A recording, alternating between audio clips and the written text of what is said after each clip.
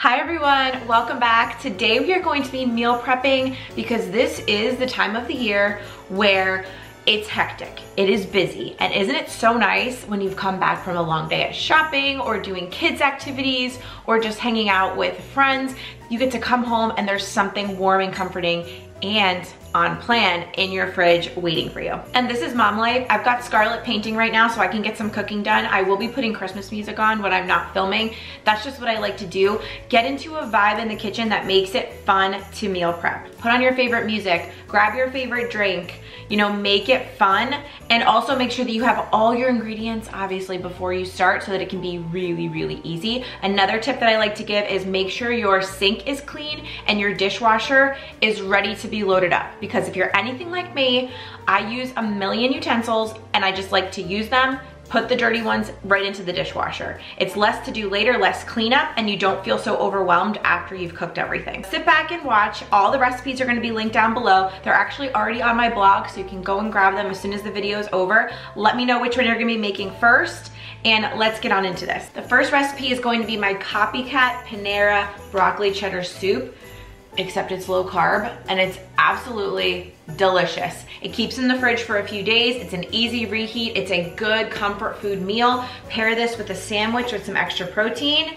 Chef Kiss, for real, you guys are gonna love this one and it's so easy. Again, this is a dump and go, no prep needed. Let's do it. Broccoli cheddar soup, first thing you need is some broccoli.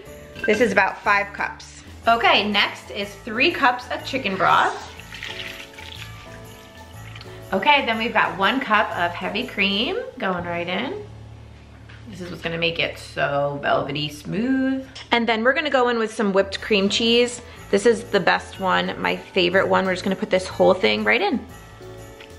All right, up next is half a cup of finely grated Parmesan cheese. And then we're just gonna drop in two tablespoons of butter. Now we're gonna do all of our spices right on top. We're gonna do half a teaspoon each of garlic powder, thyme, and ground mustard.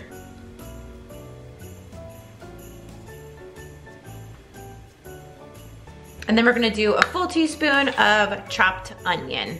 This is so good. I love putting this on top of my bagels. And we're just gonna do a generous sprinkle of pepper and a little bit of salt. We're going to definitely taste this later for seasoning, so it's just a little sprinkle of each one for now. I'm gonna give this a mix. And then this is gonna go on high heat for two and a half hours, and then I'll show you what we're gonna do next. But it could not be any easier. Dump and go at its finest. And I know what you're probably thinking, like, where's all the cheese?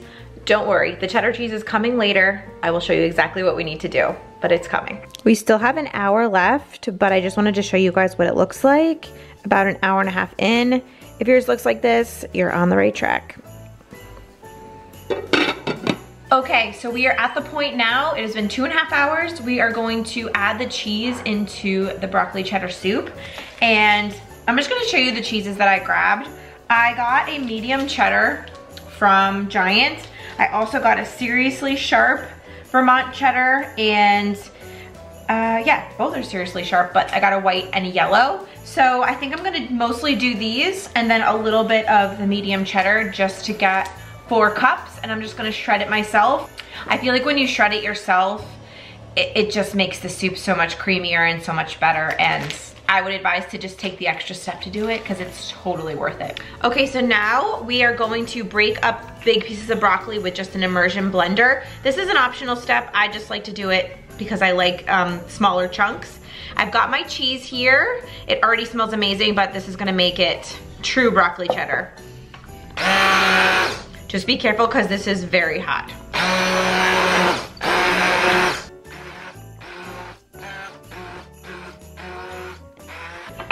Okay, so as you can see, there's still some chunks of broccoli in there, but most of it has been broken up. Now, little by little, we're gonna add our cheese in, stir until it melts, and then add more.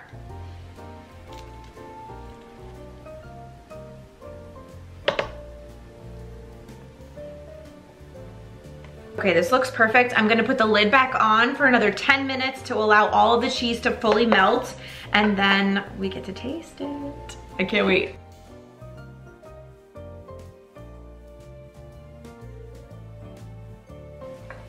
Guys. Look how delicious this looks. I can't wait to try it.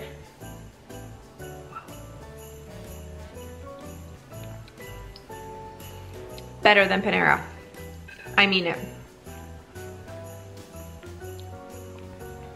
Mmm. It's super creamy, but it's not heavy. That's why I like it. The carbs are low, the ingredients are simple, it's cheesy, it's got the hint of broccoli, but even if you're not a broccoli lover, I think you'll like this soup. I'm packing this up because this will be the perfect comfort food. It was 30 degrees here today. I need warm soups.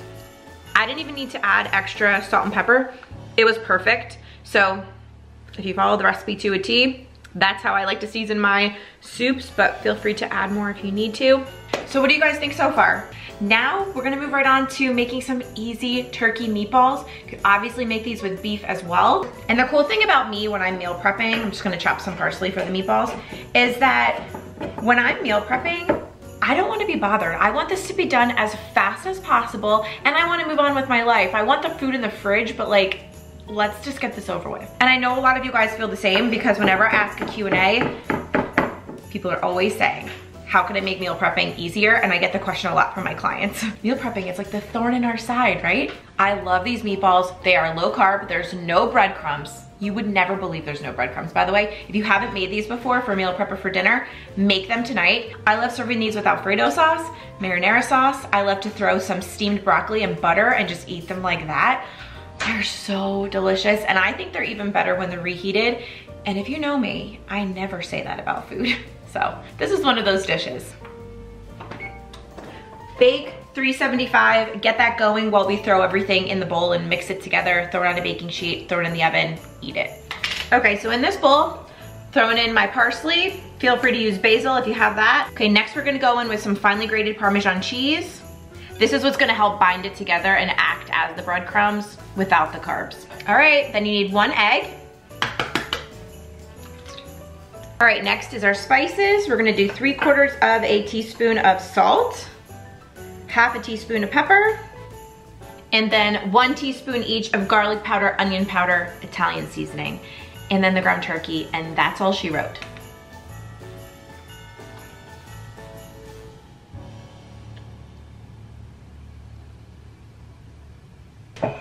I like to mix all of this together before I add the meat in and then everything gets more evenly distributed.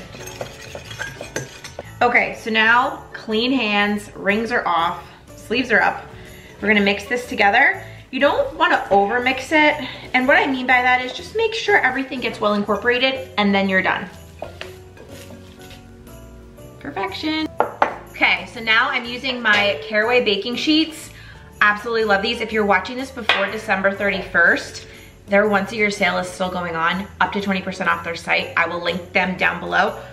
You don't need anything for this. The ceramic oven's ready. The ceramic nonstick coating on here, you don't need to spray them. You don't need oil. You don't need anything.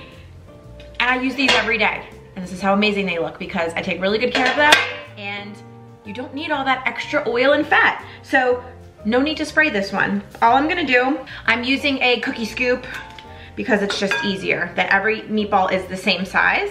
And then we're just gonna roll them and put them right on the cookie sheet.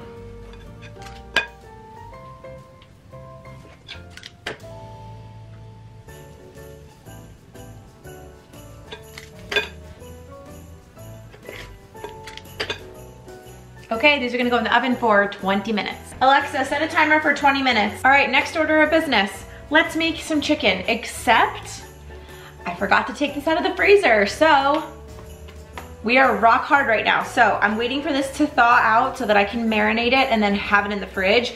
The good thing about this chicken recipe marinade is that you can marinate it for literally 30 minutes or you can marinate it for three days. It doesn't matter. It's the same and that's why it's foolproof and that's why I call it the easiest chicken ever because it is. So once this is thawed out, we'll we'll come back to this. But trust me when I say if you've never made that chicken, you have to. So stay tuned for that. So as you guys know, when I go to cook or walk around my house or go to Target, I'm wearing comfortable clothes. I'm wearing leggings, I'm wearing comfortable stretchy clothes that I feel confident in, but that I also love. So today, I thought it would be really fun to show you what I got from Halara. It's a company that I recently found and I'm obsessed. So this video today is actually sponsored by Halara and I couldn't be any happier because these are clothes that just fit into my lifestyle perfectly. Whether you're someone who loves going to the gym or you just love comfortable clothes, these are for you. You guys, I cheated. I already tried some stuff on and I'm shook. I think I have a favorite. I think this outfit, this outfit's my favorite. I love it. a traditional pair of leggings and I'm obsessed with these. The stretch is unreal, but they're so soft and they just feel like such high quality. But you guys, I know what the prices are. These are so affordable. They feel like the expensive leggings that are in my closet right now. What? These fit perfectly. You guys, pockets. Are you joking? These are so comfortable and they're so soft and smooth. They suck you in in all the right places. Yes, these are a winner. They are not see-through at all. Oh my gosh, pockets. So let's talk joggers. I'm obsessed with joggers because you can throw them on and you look put together when you're actually going out and just doing errands, like going to the grocery store, going to Target, and these do not disappoint. The color is like a burnt red color. It's perfect because it's not too loud for me, but I love it. I love it, especially for this time of the year. Again, super stretch, super soft. I love these. So cute and so, so comfortable. Look at, there's so much room. They're so comfortable. They like hug your body in all of the right ways. Oh, I love these. I will be living in these.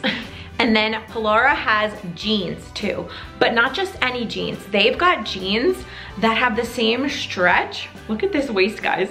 They have the same stretch as the leggings, but they look like jeans and they feel like jeans. It's like Uh, the perfect match made in heaven. And again, these are the legs.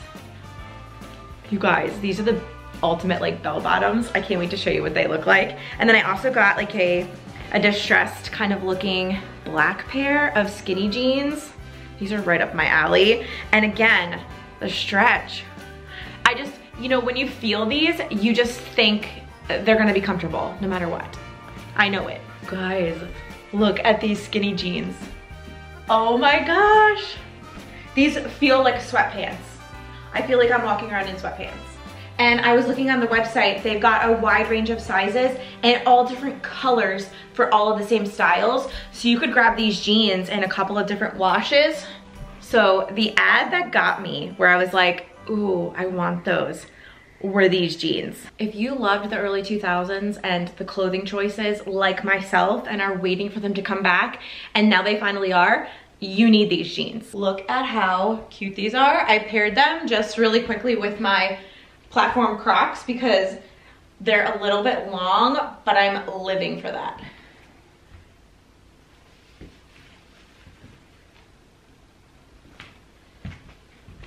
What I love is this cross top. I love that. I feel like it gives the illusion of a smaller waist and it just kind of cinches you in in all of the right places. And again, these are so stretchy, like so comfortable. Wear like sweatpants, but they are jeans. I am obsessed. You will be seeing me wearing this exact outfit come spring and summer. I just love it. I love the flare detail, the bell bottom detail, love it. And they're just super comfortable. All right, I may have spoke too soon. I think this is my favorite workout outfit. These leggings are next level. I don't know about you guys, but I love the combination of black and blue. And I feel like it just, it just looks amazing, the color combination. And I love like the electric blue without being too much. They are not see-through. They're so breathable, which is what I like them. Like you can tell that you could do a lot of exercises in these and they are going to not only hold you in, but you're gonna be able to breathe. Your skin will breathe. They feel very lightweight. And I love it too because you can style these in so many different ways. You could be dressy in those jeans. You could dress down in the, the leggings. Like it's the best of both worlds. I'm gonna list all of the items that I just tried on, including the colors and the sizes that I got down in the description box. Definitely check them out. And anybody watching today, you can actually get 15% off your next order. All you have to do is use my code. It's HART15. That will also be linked down in the description box. Go check them out. You guys, you will not be sorry. These are the most comfortable clothes at such an affordable price point with like great fabric. I, I can't I can't even. You guys just have to go check them out. I will leave a link down in the description box. Thanks again to Halara for sponsoring today's video. Okay, meatballs are out of the oven. I'm just letting them cool and then we're gonna pack them up for meal prep. So obviously you could combine them with the sauce and meal prep the entire meal or you could just pack up the meatballs, put them in there and then assemble whenever you're ready to eat them. It doesn't matter, you do you. Whatever makes your life easier, please do that.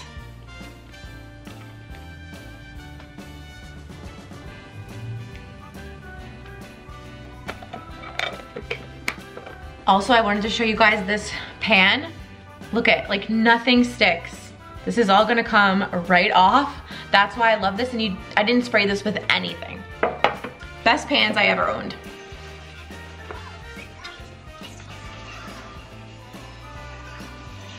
Okay, next on the list is pulling together, so easy, the sausage and pumpkin soup. I'm gonna be using, again, the caraway pans. These are just they're just amazing. You use less butter, you use less oil, but then at the same time, your food comes out tasting better. So it's like, why not? It's the gift that keeps on giving for real. Um, and then I'm just gonna be starting off with a couple of ingredients. So the recipe that I wrote originally is with pork sausage. Go ahead, use pork sausage. Make sure you drain it well when I say to drain it. But I recently just shy away a little bit more from beef and pork, so I'm using chicken sausage today. This is the exact one that I'm gonna be using. And really, the recipe is just so versatile that you could use any sausage that you like. So this one just happens to be um, garlic and cheese. We're doing it. I am gonna take the casings off and this recipe comes together so fast, so easy. And like I said, it eats like a meal, but it tastes better like the second time you eat it, I promise. And it heats up really, really well, especially for a reheated soup. So let's go and pull this together. It's gonna be fast. Our broccoli cheddar soup is almost done. Our meatballs are done. We're gonna marinate some chicken soon. We're doing all the meal prepping things. We're gonna have so much yummy food in the fridge. I'm so, I'm so thrilled. So this video, it benefits both of us. It really does. Okay, so I have a little bit of oil going in my pan. It's warming up. And then I'm just gonna add in the sausage, but I am removing the casings. This is probably my least favorite thing to do in cooking that I can think of right now. Okay, now I'm gonna wash my hands really well. Okay, so while the sausage browns up, I'm gonna move it around, break it apart with a spatula, and while it's doing that, I'm gonna chop up an onion. Should be one onion, but I only have two little ones, so we're gonna go with that. I've got my mushrooms here. I'm just gonna roughly chop them, and I need some garlic. So let's, I'm gonna do all that while the sausage is cooking. Okay, sausage is looking really good. I'm gonna go in with my garlic and then my onion.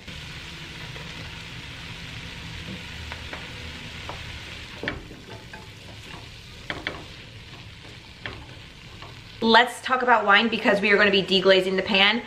I love to always cook with a wine that I'm gonna drink and that I like to drink and that it's a good flavor. This is my favorite. I love the 19 Crimes brand, specifically for cooking. Whenever I'm cooking, I will use their Cabernet or I will use the red wine blend. It's so good. If you guys are into red blends, this is the one. This is the one I would pick up next, just to try it. But we're gonna be deglazing with this. I did throw on an apron because you guys, I cannot cook without ruining my clothes. I'll probably still ruin this shirt, let's knock on wood. But I have like a million aprons. This one just came out of the wash, so it's a little wrinkled, but uh, hopefully this will save me because I get oil stains and splatter stains all over my good clothes. So we're trying to salvage this shirt. I just got it. But after this cooks for a few minutes, I am going to deglaze with the red wine. And you guys, it is going to start smelling glorious in your kitchen, I promise. And that's what, this is one of those recipes that It's like the best air freshener. I'm so weird. Good, I've got my mushrooms here. I just roughly chopped them so that they just weren't huge pieces. I'm only using a small pack today of eight ounces because my husband doesn't like mushrooms. So we're just gonna use a small amount. This recipe is very forgiving. You need to adjust anything.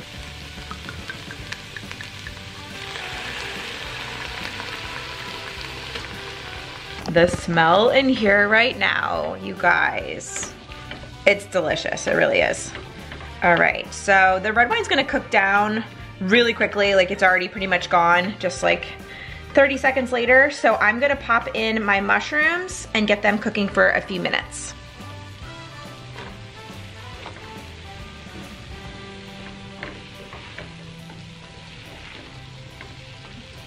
I wanted to share with you guys, I mentioned earlier when you're cooking, like get that drink. Like get something that makes you feel vibey, like the music, a little snack maybe, a drink. So I'm gonna share with you guys my favorite drink. Obviously I would love to be drinking wine right now, but 11 a.m. to, what is it, 1.30 p.m. on Wednesday, not acceptable. So we instead are going to do just like a mocktail. And I know you can buy cranberry ginger ale and cranberry 7-Up, but I like to make it myself. So all I'm gonna be doing is doing half and half. So I do the zero cranberry. You can also get diet cranberry. It is two grams of carbs for eight ounces, so that's great.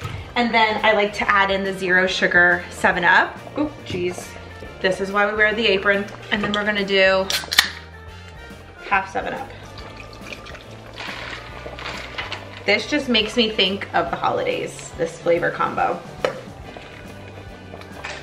Oh yeah. Oh yeah, so good, so good. And that's what you will be seeing me sipping on for the remainder of this video.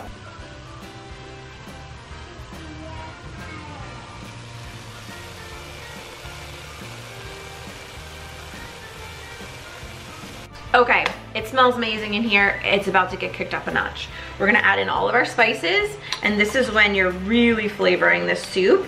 So I'm gonna do a tablespoon of Italian seasoning. Then we're gonna go in with half a teaspoon each of garlic powder, onion powder, and then this is optional, but I love to add crushed red pepper. I'm gonna do a little less than half a teaspoon. Mix this all around, toast up those spices, get everything really well incorporated. Could stop right here and stuff some mushrooms, top them with some cheese, and have a good day, really. But we're gonna make a soup. Okay, so next you're gonna need a full container of chicken stock, four cups, and then we're gonna be using the star of the show, the pumpkin. And if you're hesitant about this soup because you're like, ooh, pumpkin, I don't know. It doesn't taste like anything in your soup. It actually just makes the texture so velvety and creamy and just a decadent soup that has that umami flavor where you're like, what is that? it's the pumpkin. But what you're gonna wanna look for in your store is something like this. So it is 100% pure pumpkin. You don't want pumpkin pie. You want the only ingredient to be pumpkin. and actually, if you look at the nutritional information, it's it's fairly low carb, which makes this fit into my lifestyle perfectly as a low carb soup. But you're gonna need 15 ounces of that and then the chicken stock, which we're gonna put in next.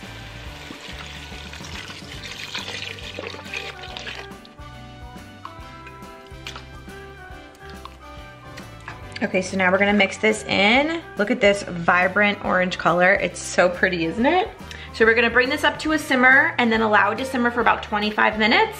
And then we're gonna add in some heavy cream just to boost up the luxurious soup that this is. And then I'm gonna tell you guys how I like to garnish it. And I think this might be my dinner for tonight because if you're meal prepping, something that you're making has to be tonight's dinner, right? Isn't that like the rule? So I think this is what we're gonna have and I'm really excited. Oh my gosh, it smells so good. You guys have to make this. You have to. That's your homework. Okay, so our soup looks amazing. It's the perfect amount of thickness. It's, the color is just phenomenal. It's, it could be perfect like this, but we're gonna, again, we're kicking it up a notch. We're gonna do some heavy cream. We're gonna do one cup.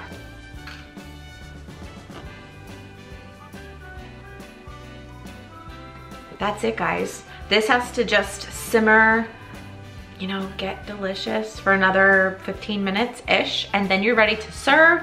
Or if you're doing this for meal prep, turn the heat off, let it, you know, cool down a little bit before you pack it up for the fridge. But That's easy, that's how easy this can be. And when you taste it, you will think, no, it can't be this easy, but it is. It always is with me. if it feels too easy, it is, but it's also delicious.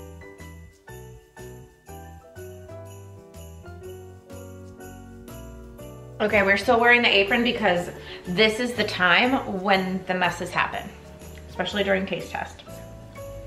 This is so good. I love to top the sausage and pumpkin soup with a little bit of thick cut mozzarella cheese and green onion scallions. Combo perfection. Let's go in. Ooh, it's super thick and creamy. I can already tell just putting my spoon in.